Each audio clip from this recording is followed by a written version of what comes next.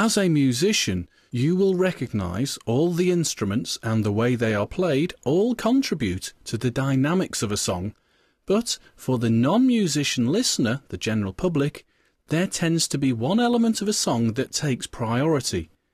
The vocal of a song is far more important to the general listener than what EQ you used on the piano, or even how much reverb you put on the percussion. So in this tutorial I'm going to go through some processing ideas to make the vocal stand out and how to make it a cleaner and more immediate presence in the mix. Here's a rough vocal line recorded already for the middle section of the song. If we open the sample editor, we can see there are background noises recorded as well as the actual vocal itself. We need to clean this up. There are two schools of thought though.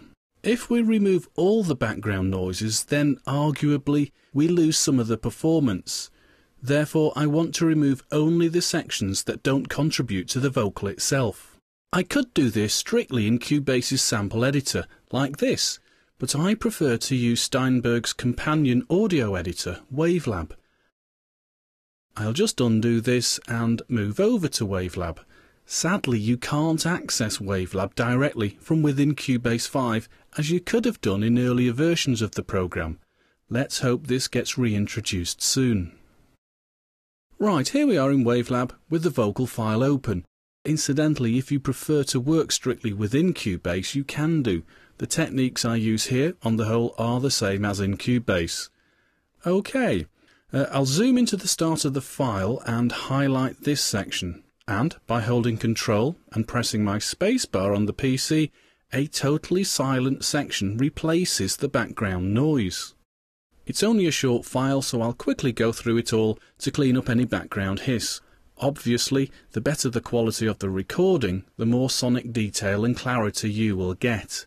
It might seem extreme why I'm doing this, but it really does give a cleaner, crisper recording, on longer files, I would use a noise gate to do this technique, but it's a matter of seconds to go through this file. Now, when I reach the end here, I might as well delete this section instead of silencing it because even though there's no sound, Cubase will still play back the whole file, silence and all.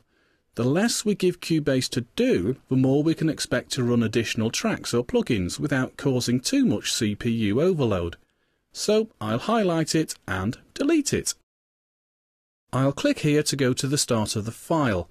I won't delete the dead space at the start of the file though because Cubase won't recognise where to indent the vocal. It will simply use the actual start time of this file without the space, and the vocal timing will be out by around 720 milliseconds if we just zoom in here and we'll have a look. What I want to do now is increase the overall level of the file. By highlighting it all and pressing N on my PC, the Normalize dialog box opens and I can see that the file won't go any louder without digital distortion occurring.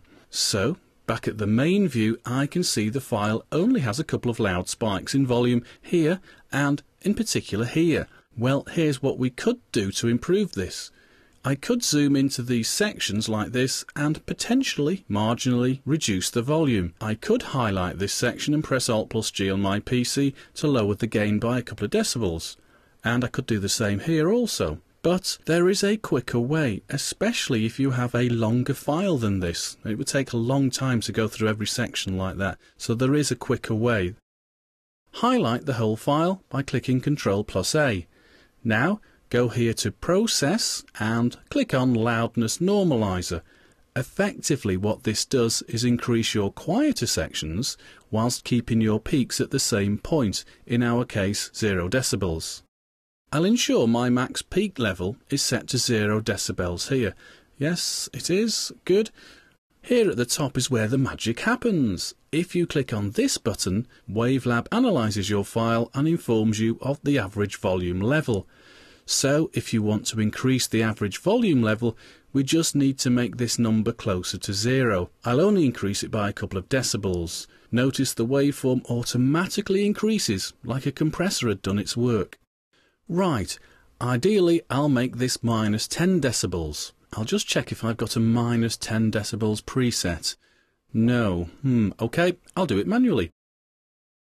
Now I'll click Render to process the file and make the overall level louder.